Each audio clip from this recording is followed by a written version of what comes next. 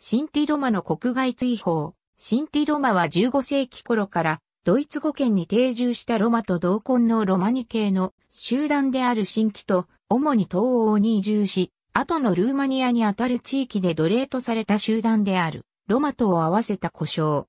中世に後のオーストリア、ドイツ、北、イタリアにたどり着いたと考えられ、シンティにはドイツ系住民と同化したものも多い。シンティからは多くの優れたミュージシャンが輩出されている。ナチスドイツの時代には、ナチズムのイデオロギーに基づく、いわゆる劣等人種だとして、シンティロマも強制収容所に収容され、殺害された。犠牲者は30万人から50万人に上ると考えられているが、被害者、遺族への保障はロマに対する人種的偏見やユダヤ人団体との対立から進まず、保障が行われるようになったのは、シンティロマの運動や緑の党によるところが大きい。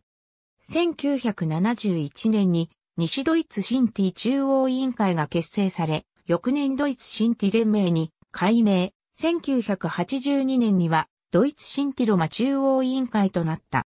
一方で、ロマニ系集団間のアイデンティティの違いも大きく、特にドイツではトランスナショナル志向の難民のロマとナショナルマイノリティ志向の新規の対立も報告されている。ありがとうございます。